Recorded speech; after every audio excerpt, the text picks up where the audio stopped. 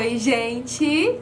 Hoje eu trago pra vocês um vídeo de penteados! Uhul! Quanto tempo eu não trago um vídeo assim aqui no canal, né? A verdade é que eu tava meio sem ideia, assim, meio sem penteados diferentes mesmo pra trazer aqui pro canal. Mas aí, uns dias atrás eu fiz uma trança de lado, assim, até mostrei num vlog. E muitos de vocês pediram pra eu trazer o tutorial, o passo a passo mais detalhado. Então é isso que eu vou fazer aqui nesse vídeo. E também vou ensinar outros penteados com tranças. Então, se você gosta de vídeo de penteado, já clica muito aqui no gostei, se inscreve no canal pra acompanhar os próximos vídeos. E Vamos lá, né, gente? Vamos lá que eu tô animada. Bom, seguinte, esses penteados com trança são fáceis, tá? É pra você aí que não sabe fazer trança embutida, trança muito diferente, porque eu também não sei, tá? Eu tenho muita vontade de fazer aquelas tranças embutidas assim, só que eu não consigo. E eu também achava que eu não iria conseguir fazer trança do jeito que eu vou fazer aqui nesse vídeo, no meu cabelo, no comprimento que ele tá no momento. Eu achei que ele ia ter que crescer mais. Mas não, deu certo. Então, fica aí a dica, fica aí a inspiração pra vocês que tem o cabelo parecido com o meu, tem o tipo do cabelo parecido com o meu, ou até mais crespo, ou com o cacho mais aberto, tá? Dá pra vocês se inspirarem bastante aí e pegarem as dicas. Primeiro, meu cabelo tá nos piores dias. Gente, sério, eu tô de coque já faz aí uns dias. A maioria das mechas, assim, tão bem sem definição mesmo, sabe? Então, esse tipo de penteado serve pra aqueles dias que o seu cabelo tá no bad hair day, que você já não tem mais jeito, que já não dá mais. Às vezes não vai dar pra você lavar o cabelo no momento e você quer fazer alguma coisa diferente e tal. Então, esses penteados vão te ajudar. Vamos lá, vou soltar aqui o meu cabelo vocês vão ver que realmente a coisa aqui, gente, tá nas últimas. Tum, tum,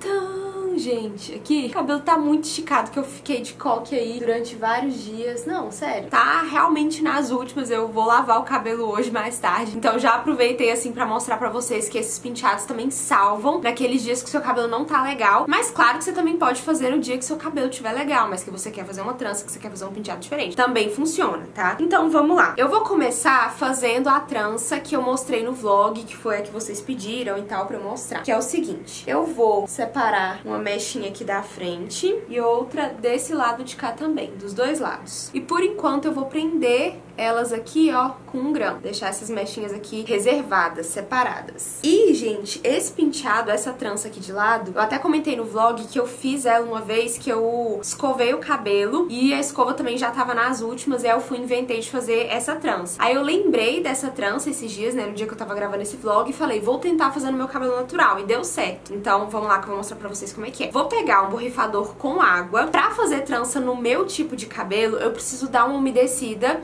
neles senão fica difícil, sabe? Não fica tão maleável. Então eu preciso umedecer. Dependendo do seu tipo de cabelo, não vai precisar. Aí você vai ter que testar mesmo, tá? Não é encharcar o cabelo, é só dar uma leve umedecida mesmo. Aí eu vou borrifando aqui. Aí com as mãos mesmo eu vou espalhando essa água. Vou borrifando mais no comprimento também, que eu apliquei mais aqui em cima, agora eu vou ficando mais aqui. E aí eu vou, né, espalhando, massageando com as mãos pra ir deixando o cabelo mais maleável e, e dando uma leve desembaraçada também, sabe? Em algumas mechinhas. Gente, sobre penteados que eu falei, que às vezes eu fico meio sem ideia, né? Porque assim, eu gosto muito de fazer penteado, mas eu sinto que parece que eu já mostrei todos os que eu, os que eu faço no momento aqui no canal, né? Então se vocês tiverem outras ideias, né? Eu tava até pensando assim de trazer, sei lá, penteados vintage, que eu amo estilo vintage, tá? Fazer alguns com tupetinho, torcidinhos. Enfim, vão me dando dando ideias de vídeos de penteados aqui no canal que eu posso trazer mais pra vocês.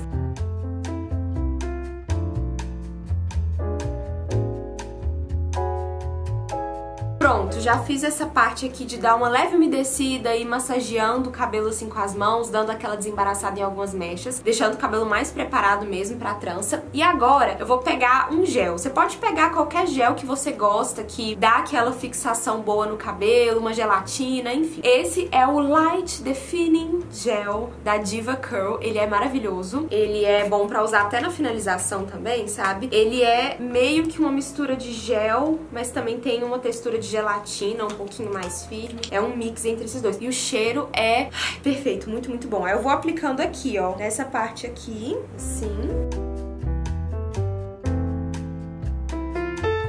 E agora sim a gente vai começar a fazer a nossa trança. Olha o tamanho do meu cabelo, gente. Eu tô com vontade de fazer uma escova pra ver o tamanho que ele tá. Pra aproveitar esse friozinho também, né? Eu gosto de fazer isso. Já falei isso várias vezes em vários vlogs aí. Que eu tô doida pra fazer uma escova nesse friozinho. Acho que dá super certo. Aí, vou colocando aqui o cabelo de lado e vou começar a fazer a trança. Gente, a trança eu vou fazer aquela básica, normal, de três mechas, tá? Não tem segredo. Eu gosto de pegar essa escovinha assim e vou passando aqui, ó, pra deixar o cabelo mais alinhado. Gente, o meu cabelo eu acho que tá dando uma falsa caspa aqui de leve.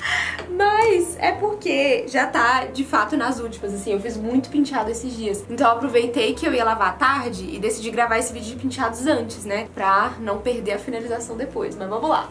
Se ficar com, com falsa caspa aí, vocês ignoram. A, fa a falsa caspa é tipo um... Dependendo do gel que você aplica e do outro produto que você tinha aplicado antes no seu cabelo, pode gerar, tipo, esse atrito, né? Entre a composição dos dois produtos e dar esse efeito. Ou até mesmo o atrito da... Atrito, né? Ótimo. Atrito. Da água com o produto ou também o acúmulo de produto, né? Se você fez muito penteado e foi aplicando produtos, pode dar essa falsa caspa, o que não é necessariamente a caspa de verdade. Inclusive, tem um vídeo aqui no canal explicando o que é a caspa de verdade e dicas de como tratar. Eu vou deixar o link desse vídeo aqui nos cards. Ele é mais antigo, mas vez ou outra surge dúvidas de vocês em relação a esse assunto. Então vou deixar o link aí nos cards pra quem quiser. Eu vou dividir aqui o cabelo em três mechas. Uma, duas, três. E começo a fazer a trança. Normalmente aquela trança tradicional, básica, de três mechas. Vou fazendo ela bem apertadinha. Como meu cabelo não é muito comprido, né? A gente precisa fazer ela mais apertadinha, senão depois não dá certo.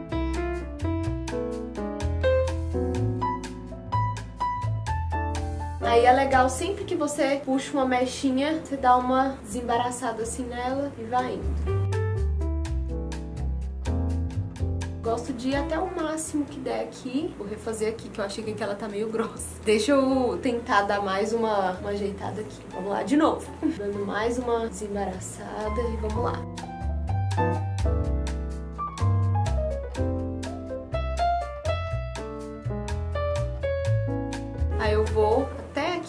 Bem no finalzinho. Pra amarrar a trança, eu gosto de usar liguinha, uma liguinha preta com rabicó, um rabicó um elástico acho que fica meio grosseiro. Então eu gosto de usar uma liguinha aqui, que dá um acabamento mais bonito, dá aquela leve enroladinha, aquele leve dedo lis, e aí dá uma ajeitadinha assim com as mãos. Eu gosto de colocar assim, tampando um pouquinho a orelha, tipo assim, sabe? Aqui, ó, pra essa parte aqui não ficar tão pequenininha, você pode dar uma leve frouxadinha aqui. E agora, o que faremos com essa essa franja. Vamos lá. Eu gosto de fazer é, isso que eu vou fazer aqui porque eu sinto que dá um efeito mais de trança embutida que eu não sei fazer, mas aí dá um efeito, sabe? Aí vamos lá. Eu vou pegar aqui, umedecer também dando aquela massageada espalhada com as mãos. E aí aqui você tem várias opções. Você pode fazer um torcidinho assim. Fica lindo, mais rápido, mais prático, fica com efeito vintage, sabe? Mas ao mesmo tempo elegante também. Eu amo torcidinho, sério. Penteado com torcidinho é o tipo de penteado que eu mais faço. Mas, como o foco aqui é penteado com trança, eu vou fazer a trança, que foi também o que eu fiz nesse vlog, que eu mostrei pra vocês. Vocês pediram pra eu fazer o passo a passo, então vamos lá. Aí eu vou fazendo aqui normalmente a trança básica, com três mechas. E aí, uma dúvida. Muita gente fica na dúvida se eu faço a trança assim e depois jogo ela pra cá, se eu faço ela, tipo, as três mechas assim, mas geralmente eu faço assim, ó. Que difícil de explicar, né? Mas geralmente eu faço ela assim, ó, de lado mesmo, tá? Eu sinto que ela fica com acabamento mais bonito. Então eu venho aqui, dividir as três mechas assim de lado, começo a trança. Aqui no começo eu faço ela bem apertadinha, que eu também acho que dá um acabamento mais bonito.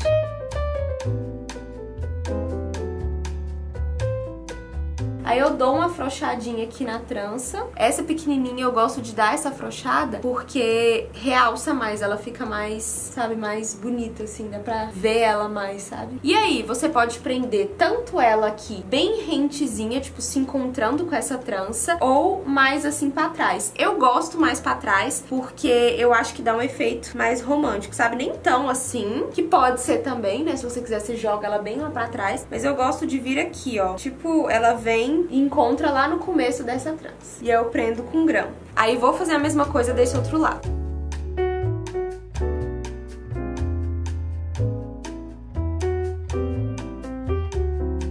E vou afrouxando novamente. E prendo aqui atrás, no mesmo esquema que eu fiz com a outra trancinha. Aí agora, pra fazer os acabamentos, que são detalhes bem importantes pra deixar o seu penteado mais bonito, mais elegante, eu vou pegar uma gelatina, essa daqui é a Curly Gelatin da Soul Power. Eu vou deixar o nome de todos os produtos aqui na descrição, o link, caso vocês queiram comprar. Então vamos lá. Aí eu pego aqui com a minha escovinha. Antes de fazer o baby hair de sempre, eu vou escovando essa parte aqui do cabelo, porque no vídeo não sei se dá pra ver, mas ficaram alguns fios mais arrepiados aqui. Eu só vou pegando um pouquinho aqui do gel, da gelatina e vou passando aqui. Aí agora eu faço o baby hair. Dica básica pro baby hair dar certo. Pouco produto, um produto que seja, que dê uma fixação boa. Essa gelatina parece uma cola, sabe? Você faz o baby hair e ele fica. É, então pouco produto, né? E ajudar com as mãos aqui, ó. Você vai usando os dedos aqui pra dar aquela, aquele acabamento. E tcharam, tá pronta a nossa trança de lado. Uma falsa trança embutida, mas que dá um efeito bem bonito, assim, é um penteado super prático, que funciona muito pro dia a dia, pra você ficar bem arrumado em casa, né, como eu gosto de falar, porque é prático, o penteado dura muito bem o dia inteiro. Pra sair também, um passeio à tarde, assim, eu acho que combina bastante. E como eu falei, você pode ir mudando, adaptando, você pode fazer um torcidinho aqui, você pode puxar uma mechinha aqui e fazer uns cachinhos aqui na lateral, enfim, fica dica, inspirem-se bastante.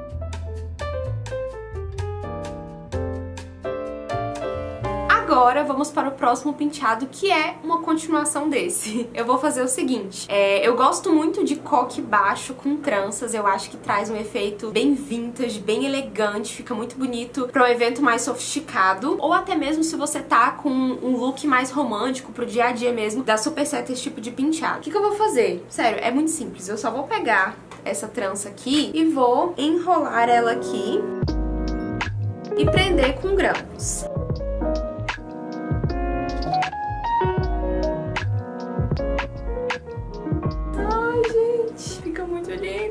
Reparem que ele fica um, um, coque menos volumoso do que quando eu faço aquele coque baixo normal sem ter feito uma trança. Então fica mais delicadinho, sabe? Eu vou deixar o link aqui nos cards também de um outro vídeo em que eu ensino o meu coque com tranças sem ser fazendo uma trança antes. Mas assim também é super prático, fica com um efeito bem bonito. Ai, eu amei!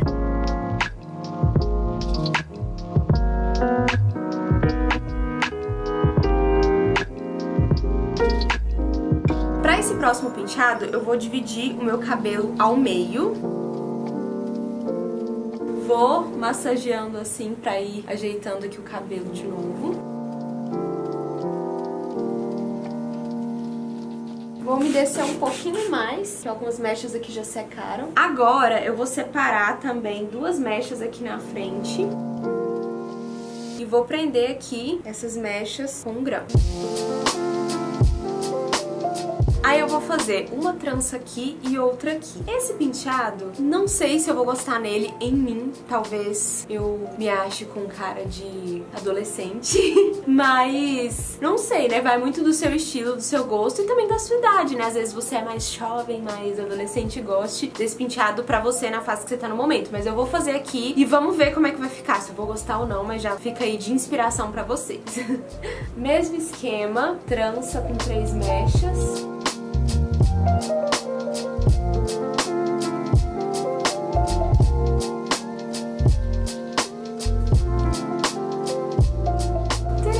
Agora a mesma coisa do outro lado.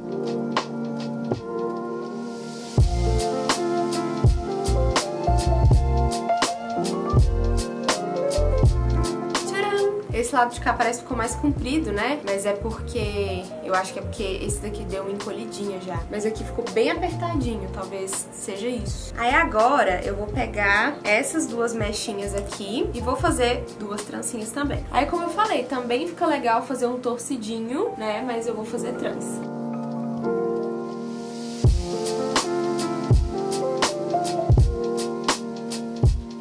E aí prendo aqui também, o mesmo esquema do outro.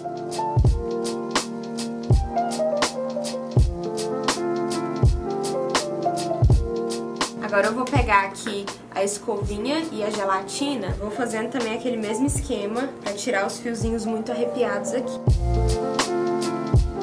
E ficou assim esse nosso terceiro penteado. Como eu falei, assim, não é um tipo de penteado que eu usaria, que faz o meu estilo. Eu olho assim, eu lembro da minha infância e adolescência, que eu fazia bastante trança. Me lembra um pouco também festa junina, a gente tá nessa época, né? Inclusive, amo. Mas assim, pra quem gosta, né, desse estilo, fica aí a inspiração. É super fácil de fazer e dá aquele efeito de trança boxeadora, de trança embutida por causa dessas duas trancinhas aqui. E é super fácil, super simples de fazer. Então fica aí a dica pra vocês. Ah, gente, peraí eu esqueci de fazer o baby hair. Vamos lá.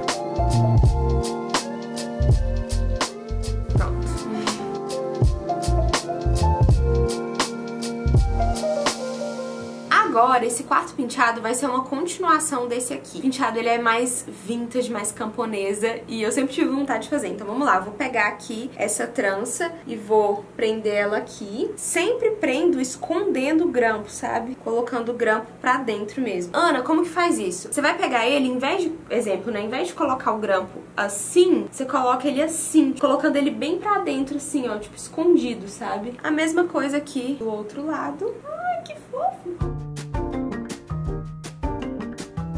E agora eu vou dando uma ajeitadinha aqui. E, seguinte, o acabamento não ficou dos melhores, principalmente aqui atrás, porque eu não tô conseguindo ver direito, então não sei como ficou. Mas já dá pra vocês se inspirarem, fica bem camponesa, bem vintage, parecendo aqueles filmes de época. E se você tiver mais habilidade do que eu, com certeza você vai conseguir fazer um acabamento mais bonito ali atrás. Mas é isso, eu adorei, fica aí a inspiração pra vocês.